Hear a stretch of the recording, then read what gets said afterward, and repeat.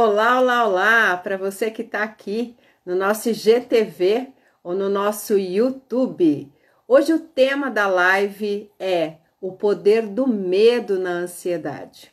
Boa noite, você que está ao vivo aqui comigo no nosso canal, no nosso Instagram, Chega de Medo e Ansiedade. Essa live acontece todas as terças-feiras, às 9 horas e 9 minutos da noite. Todas as terças nós estamos aqui. Faça frio como agora, faça sol, faça chuva, faça feriado. Boa noite, Cássia. Boa noite, Jos Josilara. Boa noite, José Cardoso. Um abraço, José Cardoso, para você, para sua esposa Viviane. Boa noite, Isadora. Como estão vocês? Aqui eu estou em Dayatuba, interior de São Paulo, e está frio. Mudou a temperatura radicalmente. O clima lembra muito a ansiedade, não lembra?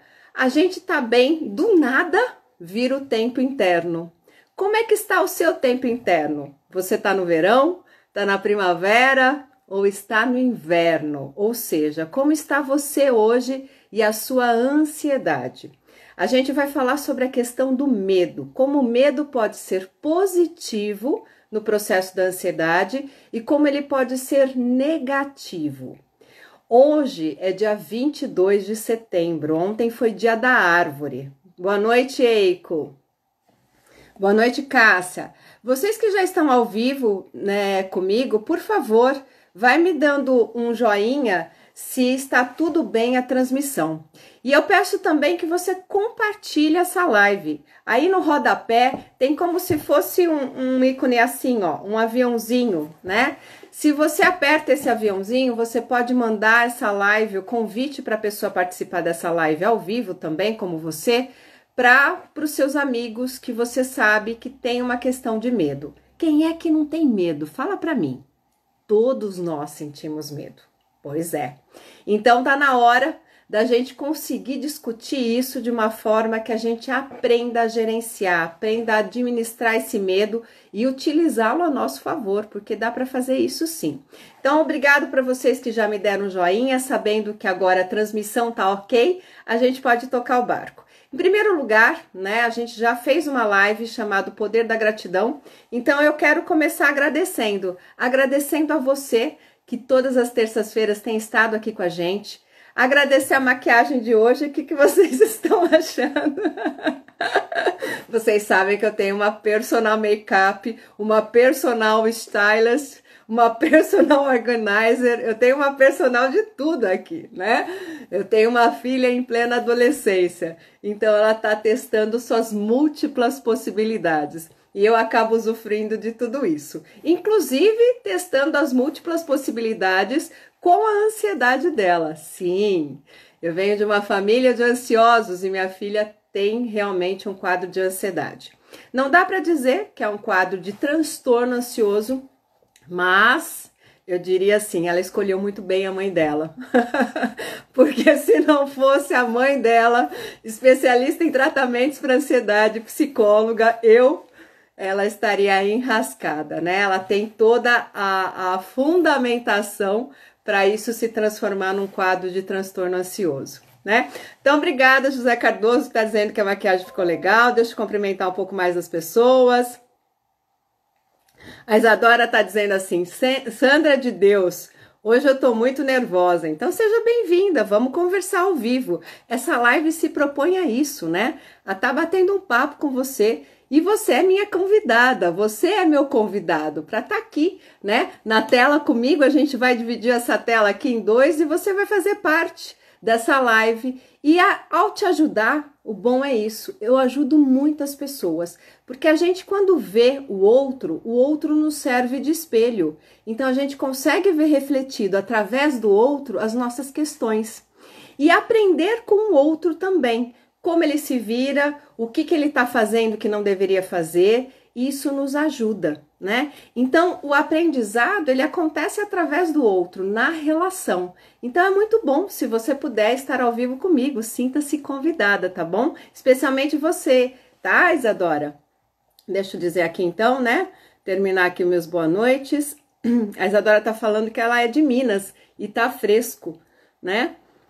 E boa noite, Vinícius. Boa noite, Tá Castelli. Boa noite, Tatiane. Boa noite, Márcia. Boa noite, Ariane. Boa noite, Aline. Boa noite, Milena. A Isadora está dizendo assim: que será que pode re ser retirada de um remédio que juntou com a TPM? Me conta mais como é esse nervosismo, tá? É, o que, que tem no nervosismo? Você tá tremendo, você tá só sentindo uma aflição interna, você tá irritada, você tá explosiva, você já brigou, você já tá dormindo demais, você tá comendo demais. Como é que é essa cara de nervosismo, Isadora? Aí eu consigo te dizer mais o que, que pode ser, tá bom? Boa noite, Fátima. Boa noite, Alete. Boa noite, Kelly. Boa noite, Leila. Boa noite, Gisele. Boa noite, Gualberto, Josi, né? Josi é o nome todo, tá?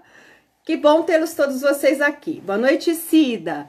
Então, eu estava convidando vocês para fazer parte e também para vocês convidarem os seus convidados aqui, né? Mandar o aviãozinho aí, convidar mais pessoas que você conhece que podem ser beneficiadas, né?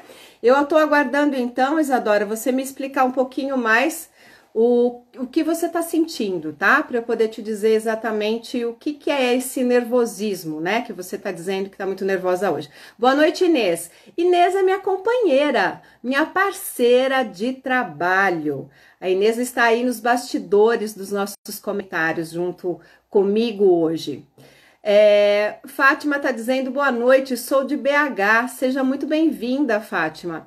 Na quinta-feira passada eu fiz com uma amiga minha de BH que estudou comigo uma live. Na verdade, eu estava aqui no interior de São Paulo, ela estava aí em BH e uma outra amiga em Campina Grande, lá na Paraíba. Não é incrível essa internet?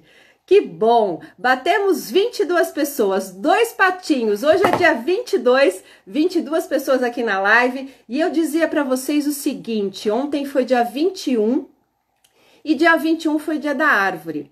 E a gente tá sempre, eu e Inês, homenageando a árvore, comparando a árvore com a ansiedade, né?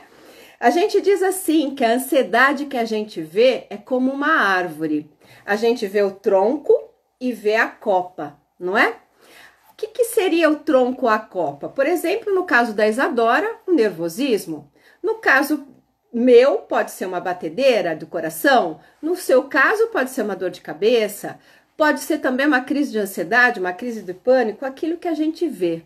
Mas a árvore, ela é tão grande para cima como é para baixo. Para baixo a gente tem as raízes.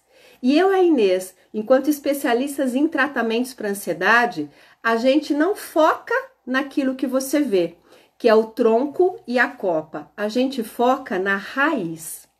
Dentro dessa raiz está presente exatamente o tema dessa live de hoje: medo. Emocionalmente, a base da ansiedade tem medo. Deixa eu cumprimentar mais pessoas aqui, que tem bastante gente entrando hoje. Que bom, fico muito feliz. Boa noite, Cida, já falei. Boa noite, Francisca.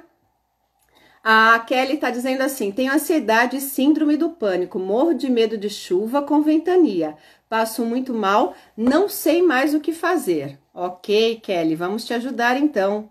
Você, se você quiser também entrar ao vivo. Boa noite, Priscila, terapeuta holística. Boa noite, Júnior. É, então, né, a Isadora, eu tô aqui aguardando para a Isadora me dizer mais como que é o nervosismo dela, tá?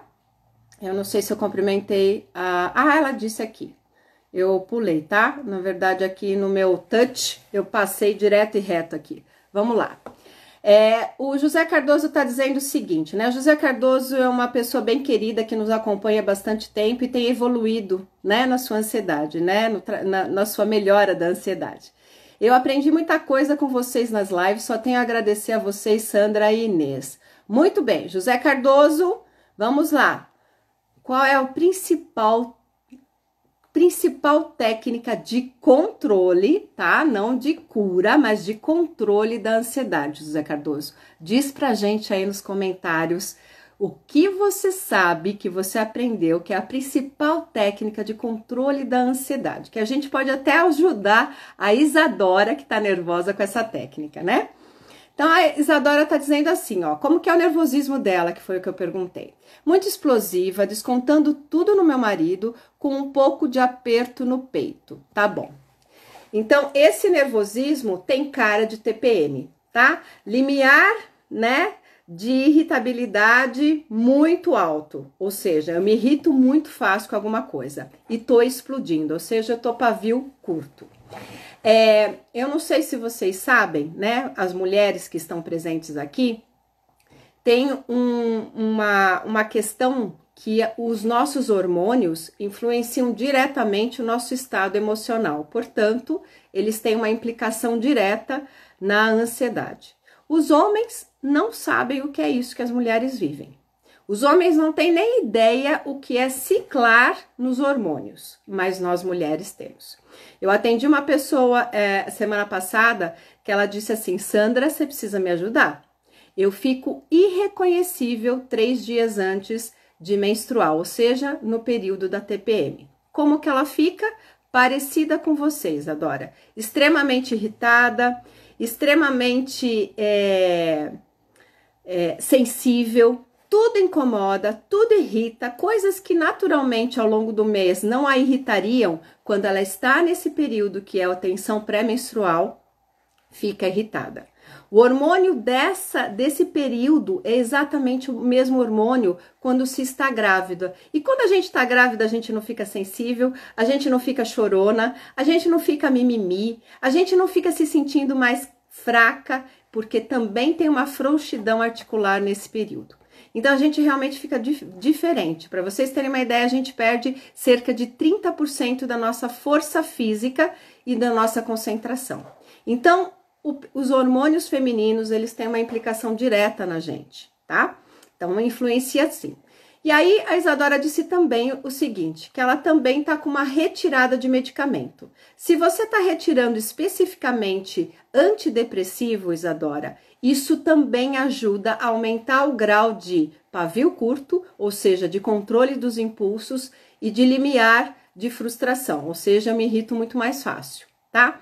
Por quê? Porque uma das formas da gente controlar as TPMs quando elas são muito fortes, né? Quando são aquelas TPMs que ninguém aguenta e TPMs muito prolongadas, ou seja, 10 dias antes de menstruar, né? Que é um período muito longo, a gente trata esse esse esse período que é uma é, um, é considerado um distúrbio, tá?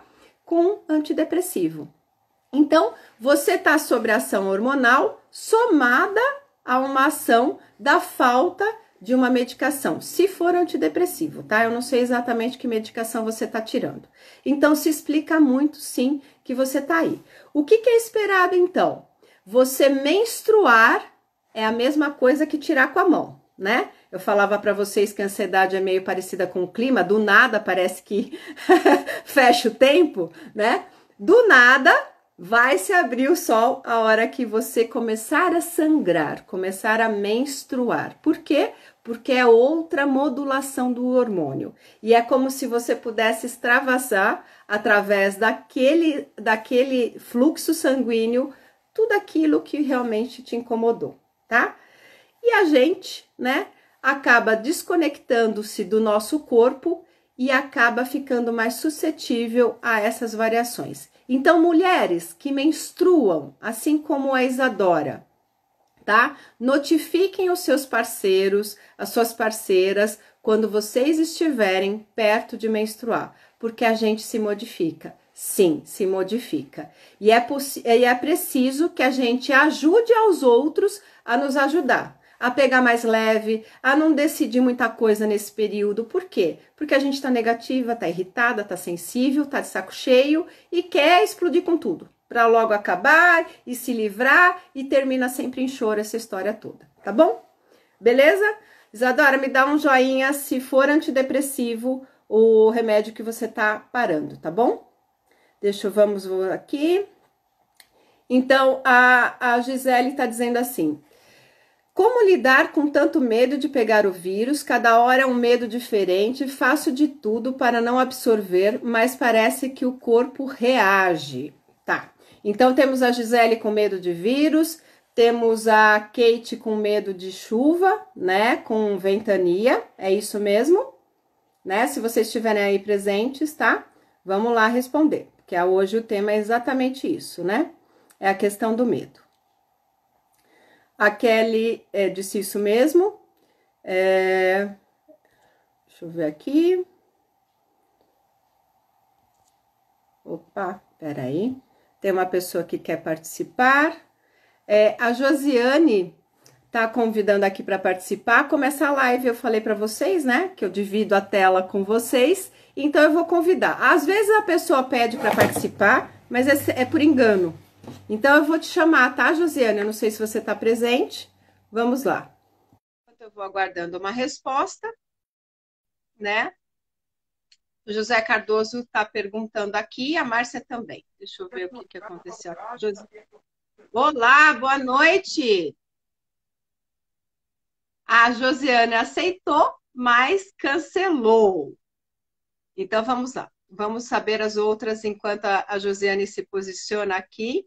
Deixa eu ler outros comentários que tem bastante hoje, tá? Que bom. Eu gosto bastante quando vocês participam, porque essa live é para vocês, né? Aliás, tudo que a gente faz, né, Inês?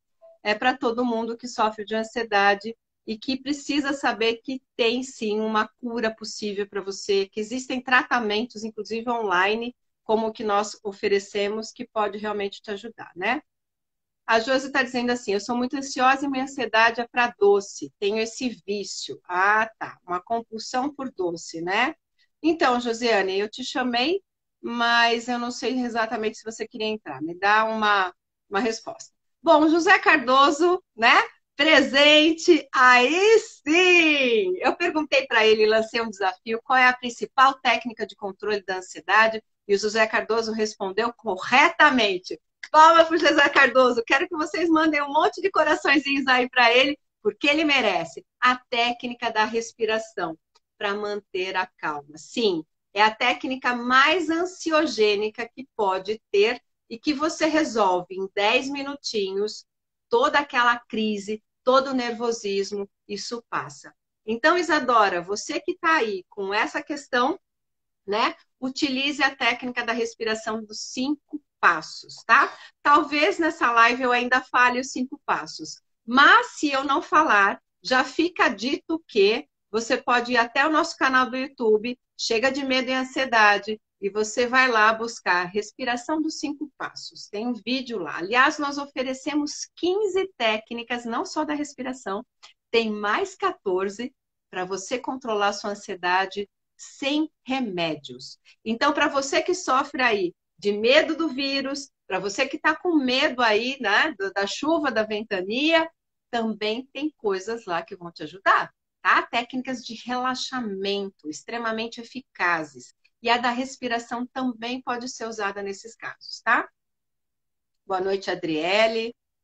Eu não sei o que está acontecendo, gente, mas vocês me perdoem aqui, porque o meu celular, eu não sei o que houve aqui nesse touch, ele não está rodando os comentários, então estou demorando um pouquinho mais do que eu gostaria, né? É...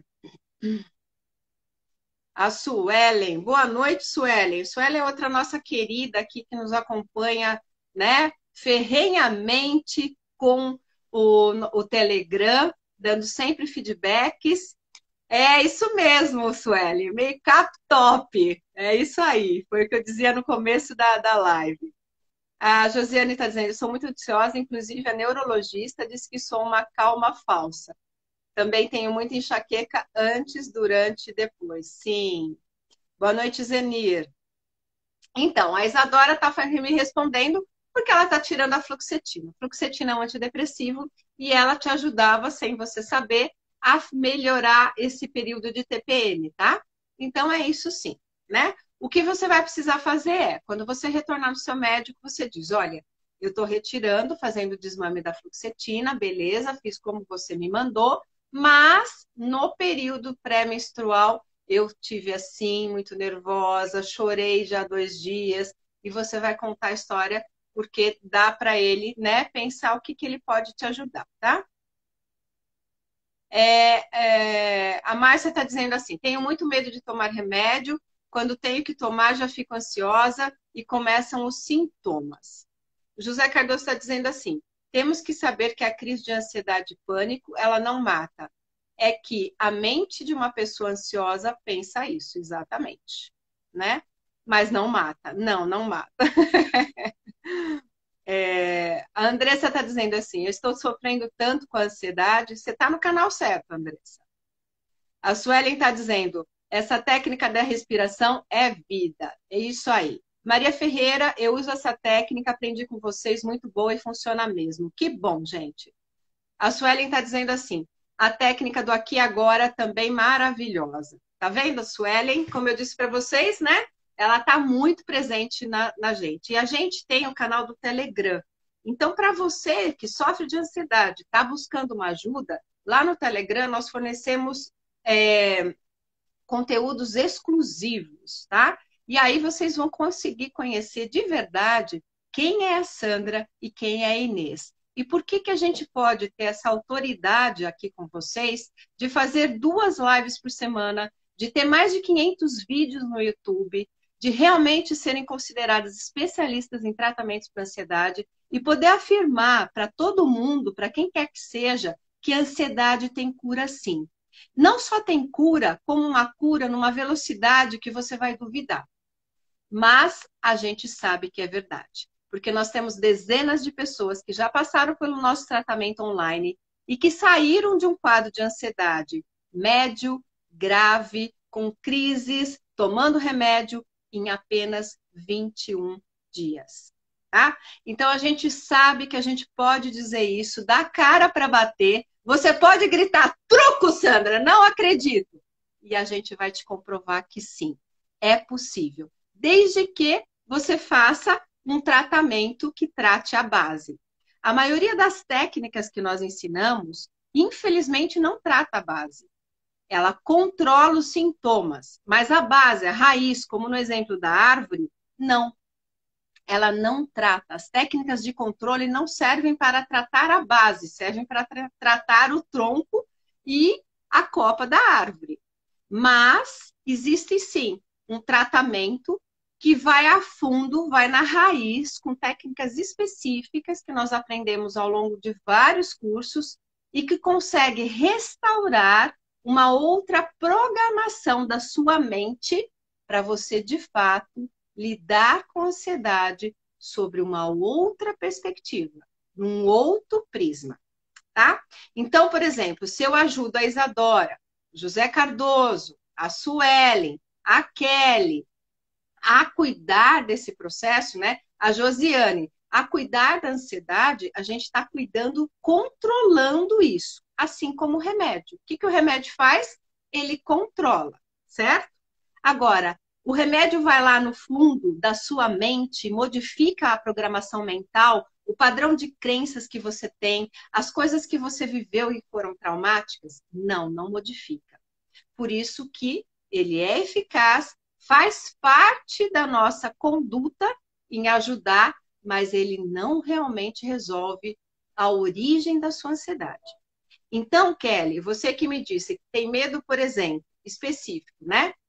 Da questão de chuva com ventania, muito provavelmente você tem na sua história, né?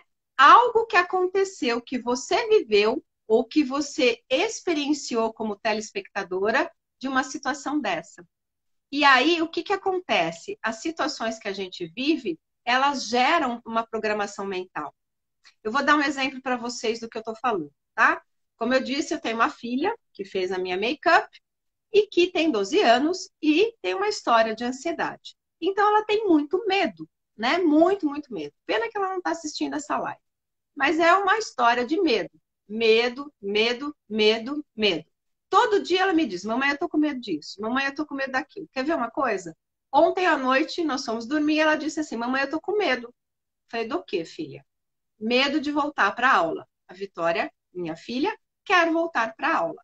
E eu disse para ela, você, por que, que você está com medo? Ah, eu estou com medo de da prova como vai ser, eu não sei como que os professores vão ser, se eu não gostar, eu não sei se eu posso voltar para a aula online. Ou seja, toda a expectativa que ela faz de futuro, ela coloca o um nome, que é esse friozinho na barriga, de medo. E o que, que eu disse para ela? Filha, é o seguinte: isso é um medo positivo. E é importante você saber que isso é um medo positivo. Porque senão você vai para todas as situações da sua vida aprender que você tem que lidar assim, sofrendo. Então você vê como o cérebro vai construindo? E quando a gente toma um remédio, a gente não muda essa base aí. Ou quando a gente toma, faz uma técnica de respiração, a gente também não consegue mudar. Eu fiz a técnica da respiração com ela? Sim, fiz. Por quê? Para acalmar e ela conseguir induzir um bom sono. Mas ela, né, através das orientações que eu dei, já vai se trabalhar para quê? Para não criar um condicionamento de pôr no negativo, na base do medo, um processo que é muito mais uma excitação, uma vontade, uma expectativa, uma curiosidade, tá? Outra coisa também que tem a ver com essa história de trauma que eu estava dizendo para Kelly, que, que sofre, que possivelmente tem alguma história na vida dela aí que associou esse medo de vento, né? Tempestade, chuva, enfim. Minha filha dizia assim: eu fico com medo. Ela falou assim: eu preciso de um psicólogo. Eu falei: legal, eu posso te indicar uma ótima pessoa. Se referindo a mim, brincando, né? Porque eu, como mãe dela, não posso atendê-la. Gente, pausa. Vocês pegaram a sua hidratação de hoje? No meu caso, é um chá, ó, que chá lindo, de hibisco, maçã e gengibre. A gente sempre diz que um dos gatilhos para você ficar ansiosa, né, é a sede, é estar pouco hidratado. O cérebro ele precisa estar encharcado de líquido, porque todos os processos praticamente acontecem aqui, né? Então, hidrate-se. Hoje, o meu chá está específico para o clima que a gente está vivendo, tá?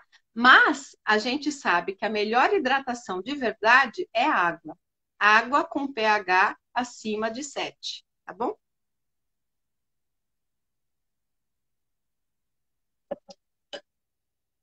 É, deixa eu continuar aqui. É, e para a Gisele também, né, que tem o medo de vírus, ajuda também isso. Então, minha filha dizia assim: eu tenho medo, quando eu vou tomar banho, de fechar os olhos e, de repente, é, nas minhas costas, ter um bicho, uma aranha, um bicho esquisito. Então, eu preciso de um psicólogo para tratar isso. E eu falei para ela assim: ah, que curioso, mas é só dentro do box quando você está tomando banho e você fecha os olhos? Eu falei: é. Quando você está na pia, você vai lavar seu rosto, você fecha os seus olhos, você não tem essa sensação? Não, não tenho. Eu falei, então, talvez o que tenha acontecido é que em algum momento você estava no banho, fechou seus olhos e viu um bicho atrás de você. Algo assim aconteceu? Ela disse, foi. Eu falei, isso, filha. Quando você tem uma experiência que você se assusta, que dispara o medo, olha o medo aí, ó. Olha o medo na base ali da ansiedade. Que dispara o medo, a sua mente faz um registro. Do tipo assim, é uma ameaça. Ela faz um marcador no cérebro, como se fosse, tá? Não é exatamente isso, mas é para a gente entender, tá? É, eu não estou sendo nada técnica, mas é mais para a gente ter uma didática, uma explicação do que algo maior do que isso. Então, quando a gente vive uma experiência de susto, de medo, né? De alguma coisa que nos deixa ameaçados, a palavra é ameaçados, que a gente sente que tem um perigo, a mente vai lá e faz uma, uma marcação. Do tipo assim, não pode XYZ. No caso da minha filha, não pode tomar banho, fechar os olhos, por quê? Porque vai aparecer bicho. O que, que, a, o que, que a nossa mente está querendo? Ela está criando um programinha, como se fosse realmente um computador, para evitar você tomar novos sustos para evitar você novamente passar por aquela situação de medo. Só que é como se ela fosse desproporcional. É como se ela tivesse tido um impacto tão emocional tão forte que não era para tanto, mas ela fez uma programação mental. E isso é gerador de ansiedade. E a base disso tudo é a emoção chamada medo. Então, quando a gente tem medos específicos, como essa questão, né? do específica aí da, da chuva, do vento, da minha filha com esse bicho aí que pode estar tá no box, é porque dentro da nossa história, muito possivelmente, houve essa, essa situação de medo, de susto. Aconteceu algo na sua história relacionado a esse medo específico que você tem. Mas, Sandra, e no caso da Gisele, que está falando que tem medo do vírus, que está falando que está com medo do coronavírus, que é a pandemia que nós estamos vivendo. Como que você explica? Sim, na segunda-feira, ontem, saiu um texto sobre isso, né? Sugiro que vocês leiam. Tá aí no nosso é, Instagram, tá no nosso Facebook, Chega de Medo e Ansiedade. E tá no nosso site também, que é www.chegademedoeansiedade.com.br. O que, que o texto diz? Depressão e ansiedade na pandemia. Então, o que, que acontece nesse momento da pandemia?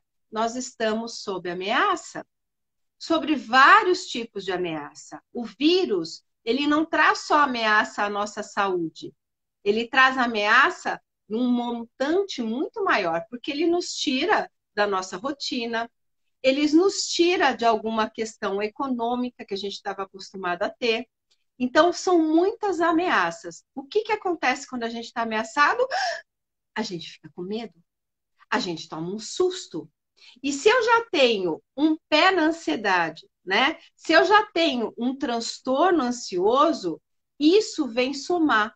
E é o que a gente chama de trauma secundário. Eu não sofri o vírus, eu não, não peguei o vírus, mas só de imaginar que eu posso fazer isso, ou de estar com uma pessoa que pegou esse vírus, e de saber que uma pessoa pegou e faleceu, outra que pegou e sofreu, outra que pegou e conseguiu sair, outra que pegou, mas ficou com. Enfim, saber disso nos traumatiza também. Então, as situações traumáticas dessa, dessa situação social que nós estamos vivendo agora são inúmeras. E realmente isso nos adoece, porque é medo em cima de medo. E que é como ela disse, né? Eu não consigo lidar, eu não sei lidar. Então, a primeira coisa que a gente precisa cuidar quando a gente está numa situação de medo, o que, que acontece quando a gente toma um susto? A gente faz assim, a gente para de respirar imediatamente. No momento do susto, no momento do choque, ou quando você recebe uma notícia, ou quando você está vendo uma reportagem, você vai regalando o olho e a respiração vai ficando curta, rápida aqui em cima e num choque, num susto, ela trava. Então, a respiração dos cinco passos também pode ser profilática, ou seja, também pode nos ajudar a evitar que a gente tenha esse congelamento, né? Esse congelamento que gera essa programação que a gente fica preso. Programou o computador para fazer aquilo, tem um aplicativo no seu celular para fazer aquilo, o celular vai fazer, o computador vai fazer, assim é você. Se você tem uma programação mental para ter medo na situação XYZ, você vai ter medo na situação XYZ. Foi aí que você está programado, certo? Então, assim, para você administrar isso, controlar isso, tem duas formas. Ou você usa a respiração, né? Ou você trabalha dentro da história, entendendo qual é a história. Por exemplo, a minha filha, nesse exemplo que eu dei pessoal meu, entendeu como que foi a construção desse medo que ela teve. Às vezes isso não é suficiente para mexer e a emoção ir embora. Às vezes é suficiente, tá? Por quê? Porque quando a gente descobre, por exemplo, que eu tenho medo do que está acontecendo agora, porque eu já vi minha mãe sofrer com uma doença, e aí eu fiquei muito triste, mas isso foi no passado, hoje eu sei que tem mais recursos, tal. Eu posso usar a minha parte cognitiva para me dar um acalento, para justificar, para me acalmar. Porque quando a gente está com medo, a gente está acelerado, a gente está se sentindo realmente descontrolado. O que, que a gente precisa? De algo que nos contenha, amorosamente. Não é nos conter dizendo, para, calma, não tem nada a ver, o que, que você está pensando? Não. Esse, essa forma de contenção, ela não ajuda, ao contrário, ela atrapalha. Porque aí a gente do medo vai para raiva, né? E aí também não é bom negócio, porque na raiva também tem adrenalina, que é o mesmo hormônio que dispara a nossa ansiedade, tá bom? Certo? Joinha se eu respondi. Deixa eu ver aqui mais pessoas. É... A Maria Ferreira está dizendo que ama hibisco, eu também, Maria Ferreira. Isadora está dizendo assim: eu detesto susto. Toda vez que é, tomo susto, minha cabeça treme. Boa noite, Valéria. Boa noite, Eliene. Boa noite, Gleiciana. A Gleiciana está dizendo assim: ó, tenho medo de notícias ruins, de morte, acho que vou infartar com o susto. Então, o susto é uma forma de medo aguda, ou seja, é muito medo concentrado num pico. É uma notícia, é alguém que nos assusta, é um barulho, né? Eu, eu tenho uma pessoa que eu atendo que ela é hipersensível com relação a ruídos, né? E dentro da história dela, ela descobriu, ela falou assim, Sandra, eu fiz uma descoberta incrível outro dia. Eu descobri por que, que eu tenho tanto, é, tanta sensibilidade ao ruído. É, eu nem sabia que ela estava investigando isso, né? Mas era algo para ela que estava como foco para ela entender o que estava acontecendo com ela. Eu disse: o que, que foi que aconteceu? Eu lembro do meu pai gritando com a minha mãe por causa de dinheiro, né? Então, hoje eu descobri que a questão do dinheiro está ligada à forma como os meus pais lidavam com isso e que de certa forma fez com que eu dissesse assim: nossa, não quero isso para mim né? Não quero o que exatamente, porque dinheiro é útil, né? Mas ela não queria este tema. Então, ela é uma pessoa que tem dificuldades com a prosperidade, que sempre fica na falta. Por quê? Porque ela entendeu quando ela era pequenininha que esse que essa questão do dinheiro tinha, né, batido aí na relação dos pais. Mas e mais? Ela criou uma sensibilidade com a questão do som por causa do pai. Então, você entende como a mente vai construindo, né? Para quê? Para nos proteger. Se você tem mais dúvidas, assista a primeira live dos poderes, que é o poder da mente, tá bom? Boa noite, Daniela. É, boa noite, Carlos. Certo, gente? Então, eu queria dizer mais uma coisa para vocês com relação ao medo, tá? É, Gisele, me disse se a minha resposta foi a contento, a, a, a Kelly também, por favor, tá? Vão me dizendo aqui se aquilo que vocês me colocaram aqui nos comentários foi satisfatório o tipo de resposta que eu dei, porque se não foi totalmente, a gente continua conversando, tá? Deixa eu tomar mais um gole aqui. Vamos lá, nos hidratar. Hum. Olá, Silvia, Rita. Gleiciana, você disse assim: eu tenho medo de notícias ruins, de morte, acho que vou infartar com o susto.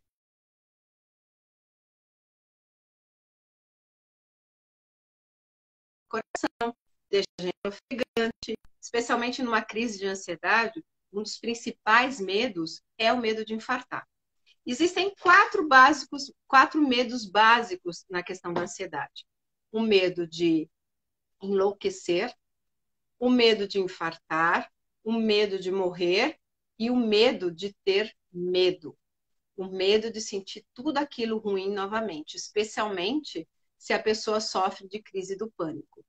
Tem diferença entre crise de ansiedade e crise do pânico? Sim, tem muita diferença. E a crise do pânico, ela é muito mais terrivelmente sentida pela gente do que uma crise de ansiedade tá? Então, no pânico, é tão impactante aquilo que vem muito forte o medo de ter medo, tá? Então, são os quatro medos. Então, da mesma forma que o José Cardoso disse que a ansiedade não mata, o susto também não mata. O susto também é medo, né? Ansiedade é medo do futuro. Então, o susto também nos mata. Mas o que, que a gente faz no susto? Trava a respiração, tá? Então, o que, que a gente precisa fazer depois de um susto? Depois que alguém te assustou, seja de forma intencional ou não intencional, seja você lá no trânsito, de repente escuta um, um, um barulho ruim, é, observa um acidente, ou de repente o seu vizinho está gritando, ou seja, você fica naquele estado de alerta, né, sob ameaça, o que, que você precisa fazer? espera passar, né? Esse momento é importante porque é disparado na, seu, na sua corrente sanguínea hormônio do estresse, que você vai ficar super atento para saber se você tem que fugir, se você tem que lutar, o que, que você tem que fazer. Depois que você percebeu que está tudo bem, que foi só um susto, o que, que você precisa fazer para restabelecer a saúde do seu corpo e da sua mente? Respirar. Que respiração? A respiração que a gente ensina, a respiração calmante. A respiração aqui pela barriga, quando o ar entra, a barriga cresce, quando o ar sai, a barriga encolhe. E a respiração precisa ser com a saída do ar no dobro do tempo do que, do que entrou. Então, quando a gente está com criança, inclusive pequena, seja um bebê, tá? Por exemplo, você está com, com o seu bebê e você toma um susto. Você tem que respirar e pôr o seu bebê junto com você no seu peito para que ele sinta o ritmo respiratório e, por espelho, né, ele vai acompanhar o seu ritmo, para ele também deixar de ter o, o susto, né? As consequências, as sequelas do susto, tá? Se é uma criança um pouquinho maior, você põe a mão na barriguinha dela, pede para ela pôr a mão na sua barriga e você vai respirar junto com ela, ensinando. Se for só você, você põe a mão na sua barriga, quando o ar entra, a barriga cresce, quando o ar sai, a barriga encolhe, e o ar tem que sair no dobro do tempo que entrou. Ou seja, você tem que fazer uma exalação prolongada. É o ar sair que vai te acalmar, tá? ele faz uma outra modulação hormonal dentro da gente. Então, toda vez que a gente vê essa situação, que a gente está impactado por isso, a gente precisa usar respiração. Por isso que eu falei para vocês que a minha filha ontem disse que estava com medo à noite, antes de dormir, que estava com medo de voltar para a escola, né? Na expectativa dela, ela nominou isso como medo, e eu ajudei também na técnica da respiração. Para quê? para isso realmente se esvair da corrente sanguínea dela e ela poder dormir bem. Então, a técnica da respiração é uma técnica que é coringa, né? A gente utiliza ela o tempo todo, até porque é através da respiração que a gente une a mente, que é onde mora toda essa base da ansiedade, com o nosso corpo, né? A respiração, ela nos conecta ao momento presente, ao aqui e agora. E a gente sabe que no aqui e agora eu estou sã e salvo. Então ela dá uma sensação de segurança, de que está tudo bem, tá? Então ela é fundamental. Aprendam, pratiquem todos os dias. E nessa fase de pandemia, nós temos dito que sim, faça pelo menos duas respirações. A hora que você levanta, antes de sair da cama e antes de você embalar no sono. Então, respira a hora que acorda, respira a hora que vai dormir. E se você está num momento de crise, se você está mais abalada, se você está na TPM, se você está nervosa, faça essa respiração mais vezes ao longo do dia, tá? Ela é realmente um remédio. Um remédio que você se auto-aplica. Um remédio que é fabricado por você mesmo, tá? E um remédio que está acessível para você. 24 horas. Então, não tem desculpa para não fazer isso, tá? Feito. Temos mais alguns minutinhos. A Eliane está dizendo também isso. Tenho medo de notícias ruins como de morte. Gisele está dizendo sim. Amenizou bastante, refletindo sobre o assunto. Meu medo de ficar doente, acho que começou quando descobri que estava hipertensa. Sim, né? E todas as interpretações que você tem a partir do diagnóstico, né? A gente, quando recebe um diagnóstico, pode dizer assim: que bom, agora eu já sei o que tem. E aí a gente pergunta para o médico: isso que eu tenho, tem tratamento? Tem. Isso que eu tenho, tem cura? Tem. O que, que eu preciso fazer? Outras pessoas dizem: ah, não, não é possível que eu sou hipertensa. Ai, pelo amor de Deus, Ai, só faltava essa, né? E hipertenso pode morrer, né? Ai, não. E pode ter infarto, né? Então, assim, a gente que dá o tom para aquilo. Pode ser um tom bom, como pode ser um tom ruim. Quem tem já um perfil ansioso, é óbvio que vai dar um tom negativo. Então, aí a gente pega a hipertensão e soma mais um monte de problema nesse baldão de coisas, né?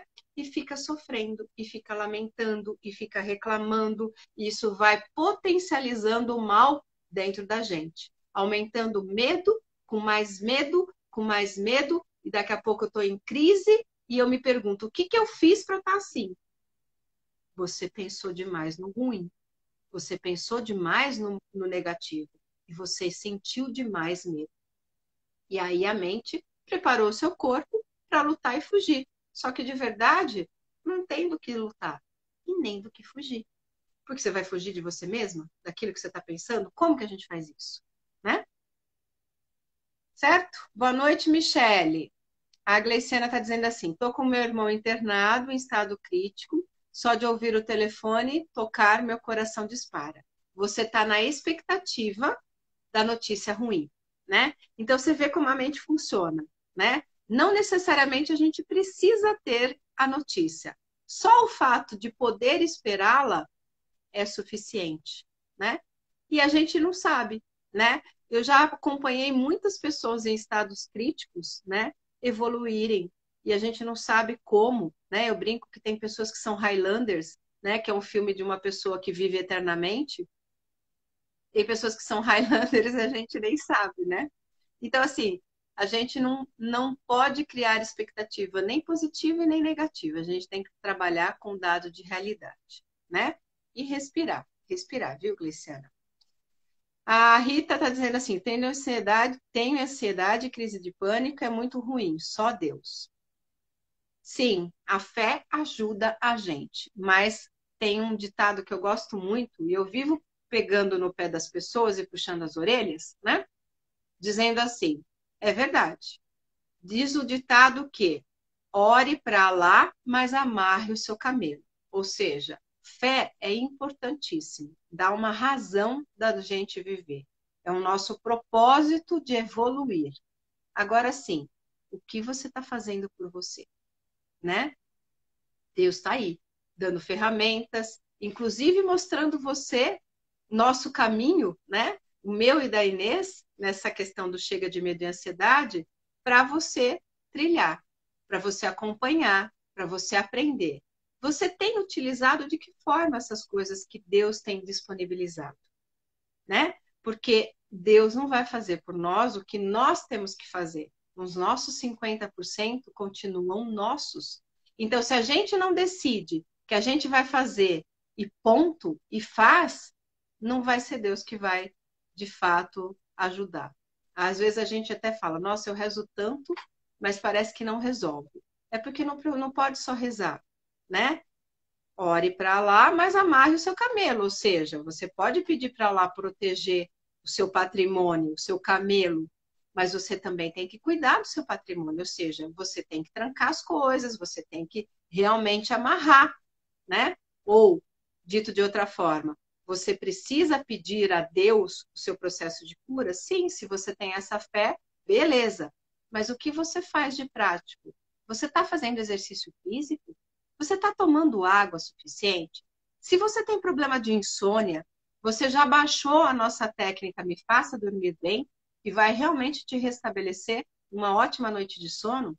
Se você quer se curar da ansiedade, se você tem pedido fervorosamente para Deus se curar da ansiedade, você já conhece o nosso tratamento online, o programa Chega de Ansiedade, que em 21 dias elimina a ansiedade pela base? Pois é. Então vem aí, né? Um puxão de orelha para você. Precisa fazer algo por si mesmo.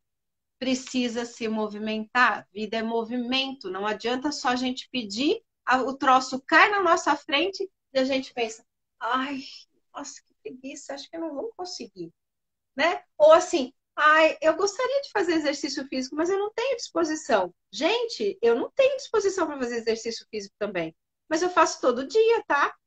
Eu que eu falei para minha filha hoje, um friozinho, atendi até seis e pouco, fui para lá e ela disse assim: "Você vai fazer exercício físico?" Eu falei: "Eu vou." Ela falou: "Mas por quê?" Porque eu disse que eu ia fazer. Esse é o meu compromisso comigo.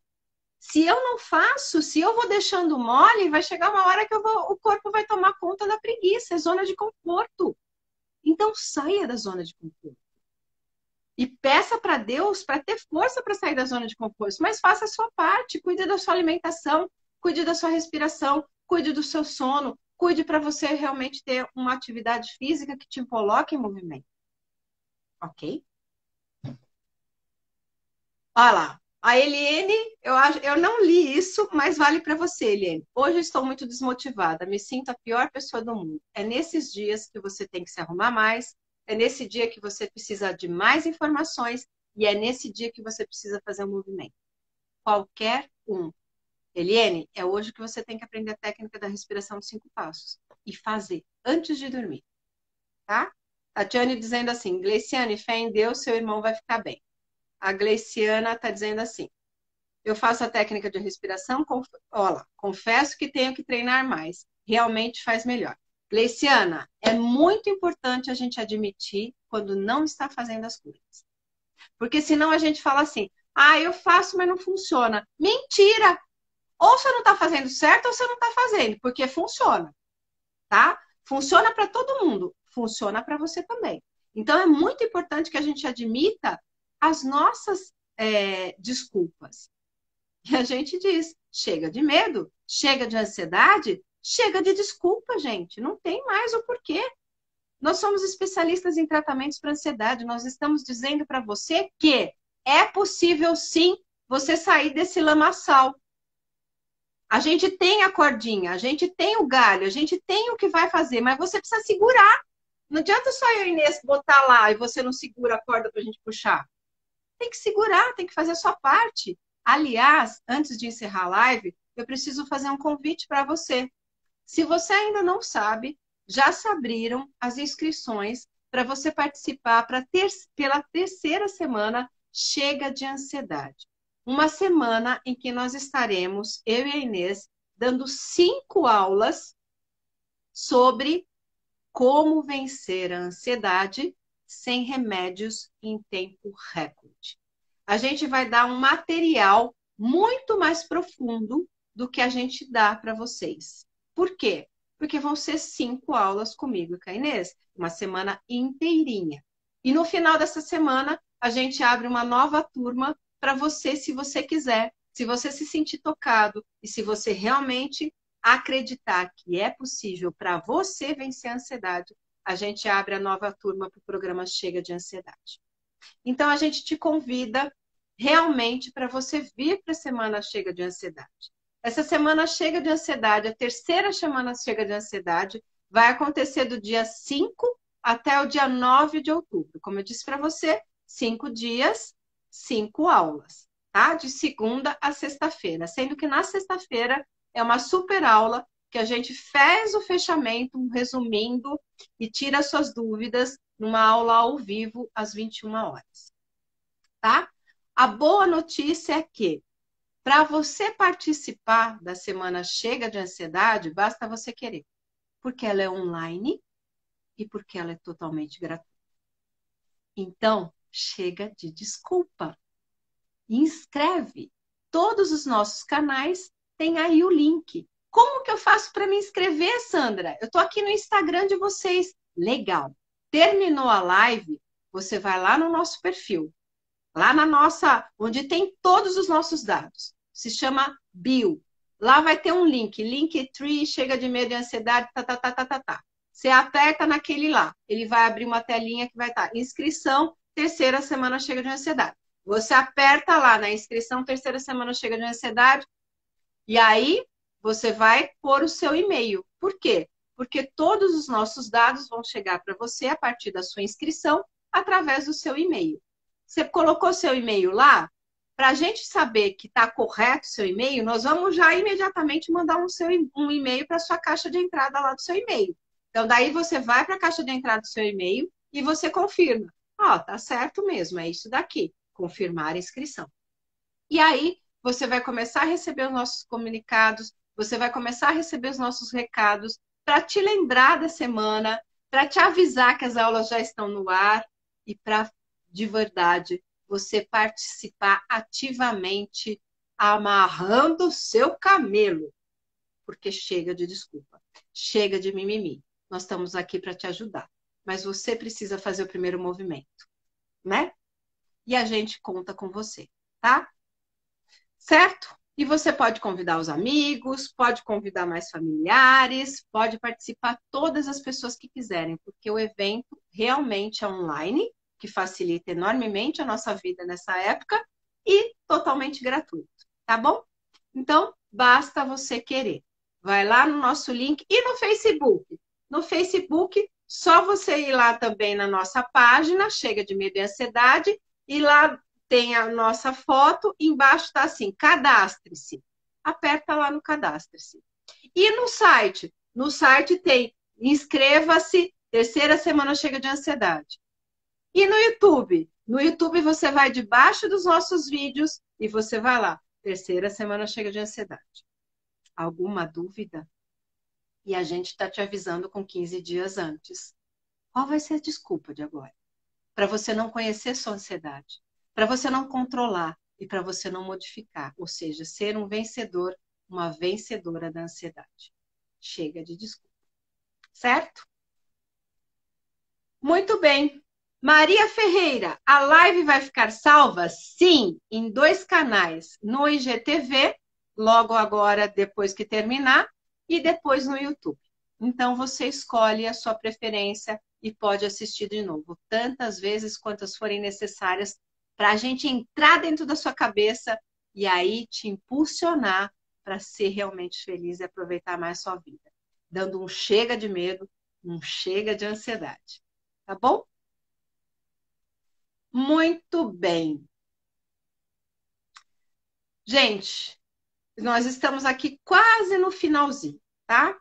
É, eu peço desculpa porque eu não consegui ler todos os comentários, né?